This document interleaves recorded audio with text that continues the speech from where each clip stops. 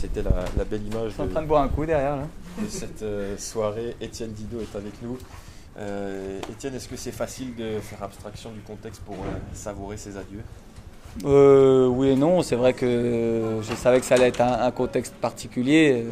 on le savait tous et c'est vrai que c'était une ambiance vraiment, vraiment bizarre. Euh, en toute logique, je pense que voilà, les supporters nous ont, nous ont soutenus euh, tout au long de la saison, alors que c'était une saison très très très compliquée. Donc euh, voilà, on ne peut pas leur en vouloir d'avoir d'avoir un petit peu montré leur mécontentement ce soir. C'est logique. Après, après c'est vrai que pour moi, bah, j'aurais préféré ne pas finir sur, sur, une, sur une descente et sur une situation comme ça. Je pense à un roue de roue comme ça, mais voilà, c'est la vie. Je pense que malgré ça, j'ai réussi à, profiter de, voir les miens, d'être avec mes enfants, ma femme et, ma famille. Donc euh, euh, voilà, euh, c'était important pour moi que tout le monde soit là pour ma dernière. J'en ai profité quand même. Avec donc cette, saison, on va commencer par le négatif, on va parler du positif. Euh, qu'est-ce qui a précipité euh, cette saison catastrophe? On a l'impression que ça a été ça, plus ça, plus ça, plus ça. Voilà, si avec une seule chose, je pense qu'on aurait essayé de la régler, on aurait pu la régler. Je pense que c'est c'est un ensemble de choses qui ont fait que, bah, que la situation s'est compliquée au fur et à mesure de la saison, tout simplement. Du début à la fin, il y a eu beaucoup de, beaucoup de choses. Après, je ne veux pas en parler et résumer la saison ce soir. Je pense que c'est plutôt euh, euh, aux dirigeants, au staff de, faire ça. Nous, les joueurs, bah, tout simplement pas à la hauteur cette saison, euh, même si il y a eu plein de choses, mais, mais voilà, on n'a pas été à la hauteur. Je pense qu'on n'a jamais forcément été ensemble en, forme et, et, ça s'est vite compliqué. Après, avec les résultats négatifs, bah, il y a aussi le doute qui s'installe. Je, voilà, je ne vais pas vous la faire. Mais, mais voilà, pas à la hauteur, pas au niveau. Et donc voilà, c'est logiquement qu'on était en dessous. Après, on n'avait pas été loin plein de fois. Mais comme je disais l'autre jour, quand on n'est pas loin plein de fois, c'est qu'il manque des choses tout simplement. Justement, tu parlais du doute. On a senti en première période, surtout, notamment offensivement, que bon, le fait d'être condamné, ça vous a un peu libéré. Euh, on n'a pas, en tout cas, d'en haut, on a senti que c'était un peu plus libéré que d'habitude. Ouais, mais je pense que Nîmes aussi a pas fait forcément une grande première mi-temps. Euh, c'était un match vraiment euh, complètement débridé. C'était pas un match classique de Liga, on va dire, du tout ce soir. Donc on peut pas, on peut pas. Je pense qu'on peut rien en, en, tirer ce soir. Un mot donc sur ces sur ces adieux, c'est voilà, roue euh, finir ta carrière là où euh, ta vie a commencé presque, même si tu n'as pas été formé à Guingamp, on imagine que c'est une, belle fin quand même. Oui, ce que je disais la semaine dernière, euh, un des derniers matchs à l'extérieur, c'était à Rennes où j'ai débuté en pro, c'était beaucoup d'émotions. en Bretagne encore, là voilà, c'est là où j'ai été voir mes, mes, premiers matchs professionnels, où j'étais abonné avec, avec mon père. Donc voilà, le Roudourou représente quelque chose d'incroyable pour moi. C'est là où j'ai découvert le, football professionnel et où je suis tombé amoureux du foot. Euh, donc voilà, de, terminer ici, c'est quelque chose de vraiment, vraiment particulier.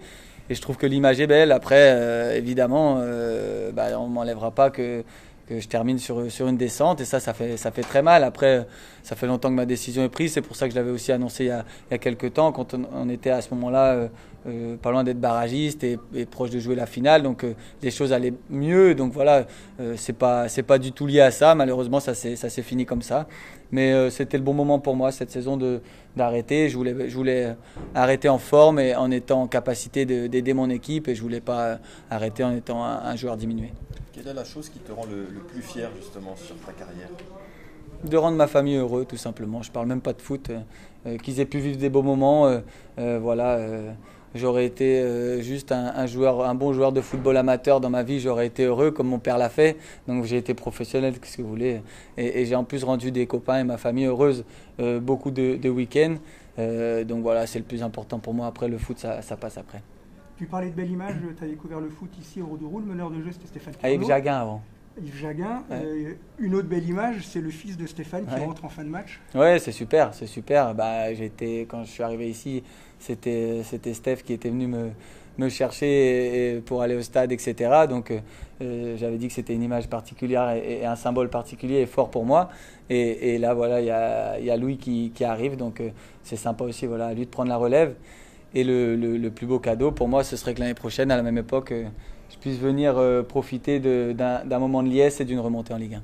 Et dans les équipes de jeunes, en avant, il y avait un autre Dido, le fils de de mon frère, ouais, euh, qui joue aussi. Bah voilà, c'est les jeunes poussent d'en avant et j'espère j'espère qu'ils vont qu'ils vont tous arriver là parce que le, club en a besoin, a besoin de, bons jeunes joueurs et du cru aussi. C'est important pour Guingamp, c'est important pour les gens. Donc euh, donc voilà, à eux de à eux de prendre la place et, les anciens viendront les voir. Et toi, tu as trois filles. Voilà, trois filles qui étaient là et qui m'ont supporté et, qui, qui, étaient toujours derrière moi. Donc euh, c'est les, les, belles choses de, de la vie. Donc voilà, ça j'apprécie énormément la suite pour toi avant de fêter une éventuelle remontée euh, en 2020 Qu'est-ce qui va se passer pour toi? Bah, plein de choses. Euh, voilà, j'ai pas attendu aujourd'hui pour préparer la suite. J'ai plein de choses de prévues. J'ai plein de choses qui, qui, ont déjà commencé. Donc, euh, il y aura des choses en, dehors du football. Il y a déjà des choses en dehors, mais il y aura aussi des choses dans le football. ça, je verrai, j'affinerai petit à petit. Mais il y a plein de choses qui vont se lancer.